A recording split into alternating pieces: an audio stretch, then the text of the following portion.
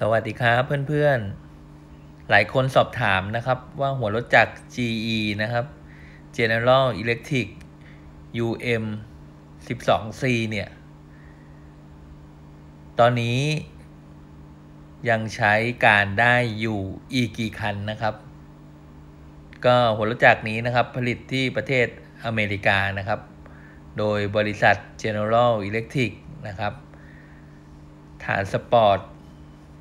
เตชันนะครับ ประเทศประเทศไทยเรานะครับ สั่งหัวรถจักรรุ่นนี้มาทั้งหมด 50 คันนะครับ ตั้งแต่ปีพศ 2507 นะครับ ก็ใช้กันจนถึงทุกวันนี้นะครับ ก็ตัดบัญชีไปทั้งหมด 5 คันแล้วนะครับ ที่ประสบอุบัติเหตุนะครับ ไม่ว่าจะเป็นหมายเลข 4003 นะครับ ไฟไหม้ขณะทำขบวนสินค้าสายเหนือนะครับ อันนี้คือทั้งตัวรถเลยนะครับไม้เสียหายนะครับ ก็ตัดบัญชีออกไปนะครับ แล้วก็หมายเลข 4032 นะครับ อันนี้ตกรางเนื่องจากการกำทำของผู้ก่อความไม่สงบนะครับ ตอนในขณะที่ทำขบวนสายใต้นะครับ ขบวนท้องถิ่นเนี่ยที่ 456 ยะลาเนี่ยนะครับ ยะลา กับนครศรีธรรมราชเนี่ย ระหว่างสถานีรถไฟนาประดูนะครับ กับสถานีรถไฟปัตตานีนะครับ จังหวัดปัตตานี อันนี้เสียหายทั้งคันนะก็ตัดบัญชีออกไป อีกคันหนึ่งนะครับ หมายเลข 4035 นะครับทำขบวนรถเร็วที่ 178 นะครับ หลังสวนทนบุรีนะครับ ชนกับขบวนด่วนพิเศษนะครับที่ 39ทับ41นะครับกรุงเทพสุราษฎร์ธานีนะครับ ที่สถานีรถไฟหนองแกนะครับ จังหวัดประจวบคีรีขันธ์อันนี้ก็เสียหายทั้งคันนะครับ ตัดบัญชีออกไปนะครับ แล้วก็อีกนัมเบอร์หนึ่งนะครับ 4046 นะครับ ถูกขบวนรถสินค้านะครับ ถลายลงมาทับนะครับ ขบวนรถสินค้าน้ำมันสำเร็จรูปนะครับ ก็ถลายลงมาทับเลยนะครับ ที่สถานีรถไฟหนองบัวนะครับ หนองบัวลายนะครับ จังหวัดนครราชสีมานะครับ อันนี้ไฟไหม้เสียหายทั้งคันเลยนะครับ ก็ตัดบัญชีออกไปนะครับ แล้วคันที่5นะครับที่ตัดบัญชีออกไปนะครับ ก็คือ 4049นะครับชนกับรถบรรทุกนะครับ ในขณะที่ทำ รถสายตะวันออกนะครับ ไม่ทราบขบวนนะครับ บริเวณที่เกิดเหตุนะครับก็คือ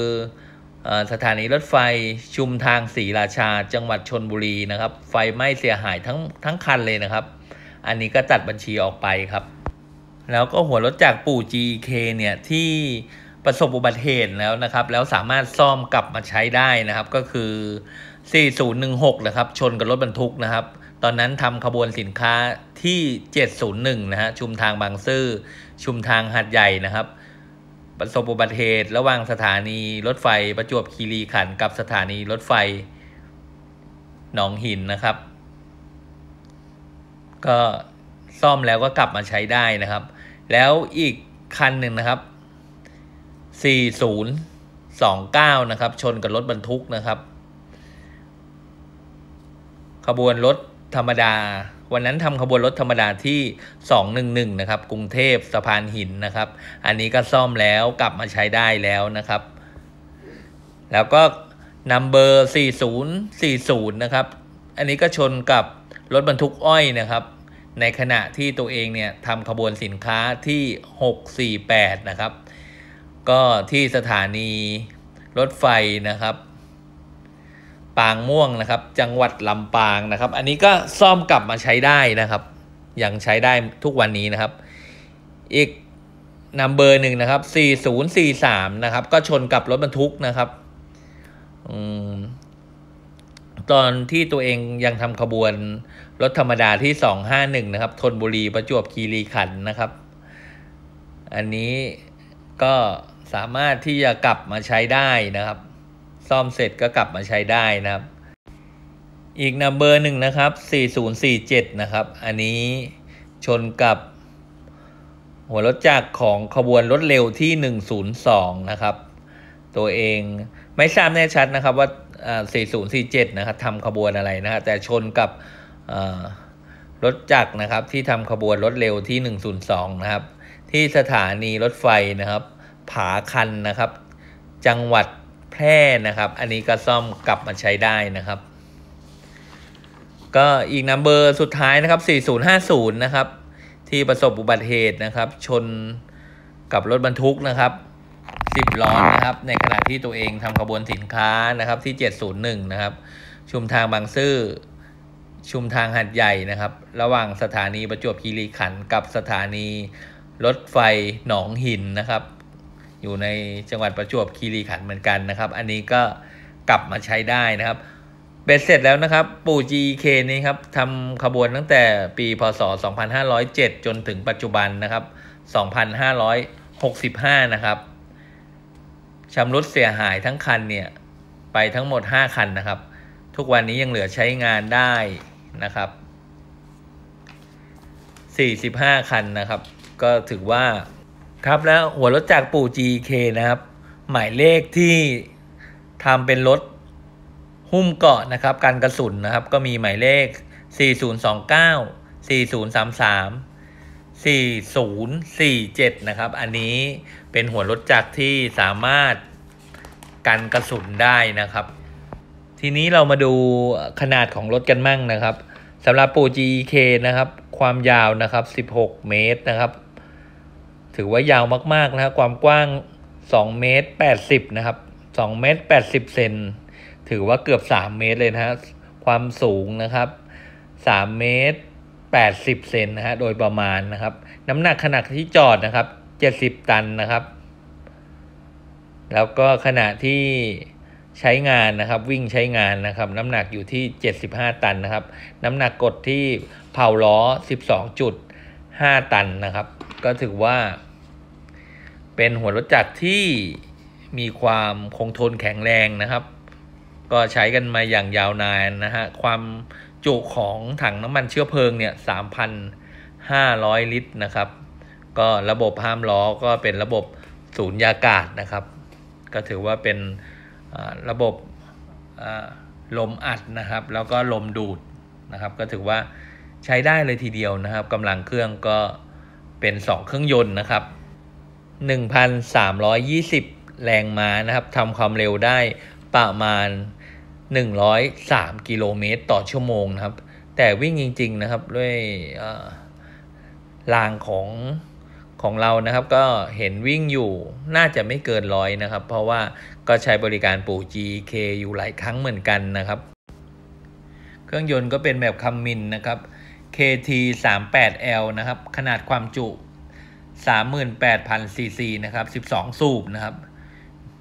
ที่ผมบอกนะครับ มี 2 เครื่องยนต์นะครับ 1,320 แรงม้านะครับ ที่รอบเครื่อง 2,000 รอบต่อนาทีนะครับ ก็ถือว่าใช้ได้เลยทีเดียวนะครับ ราคาค่าตัวในสมัยนั้นนะครับ ก็อยู่ประมาณ4ล้าน5แสน9หมื่นกว่าบาทนะครับ ก็สั่งมาจำนวน 50 คันนะครับ ใช้ในการจัดส่งนะครับ ประเทศสหรัฐอเมริกาโดยบริษัทเจเนอรอนเนี่ยก็ใช้เวลาในการจัดส่งนะครับ ตั้งแต่ปี 2507 นะครับถึง 2509 นะครับ ทีนี้เรามาดูระบบห้ามล้อกันนะครับ ถ้าเป็นระบบห้ามล้อแบบลมดูดอย่างเดียวนะครับ จะมีนัมเบอร์ 4001 นะครับ 4028 นะครับ อันนี้ถือว่าเป็นระบบลมดูดอย่างเดียวนะครับ ระบบห้ามล้อนะครับ แล้วถ้าเป็นระบบห้ามล้อแบบลมดูดแล้วก็ลมอัดนะครับ จะมีหมายเลข 4003 4004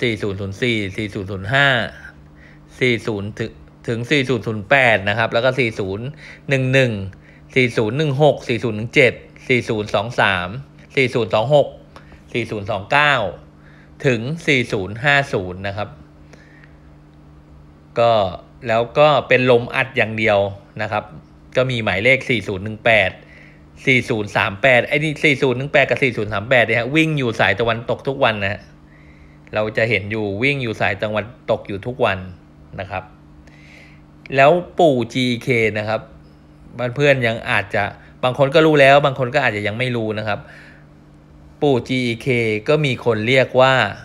หัวรถจักรนะครับมิกกี้เมาส์เหมือนกันนะครับ มีอยู่นัมเบอร์เดียวนะครับ ที่มีหูสีแดงนะสองข้าง คือนัมเบอร์4030 นะครับ เป็นปู GK มิกกี้เมาส์นะครับ อันนี้มีหูนะครับ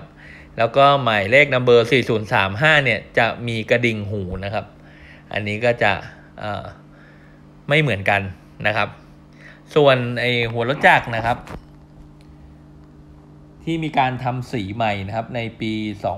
2553 นะครับ ก็มีหมายเลขนัมเบอร์ 4001 4002 4005 4006 4007 4008 4011 4015 4016 4017 4019 4020 4021 4023 4025 4026 4029 4030 4031 4033 4034 4036 4038 4039 4042 4043 4047 4048 นะครับ อันนี้ก็ถือว่ามีการทำสีใหม่ในปีพศ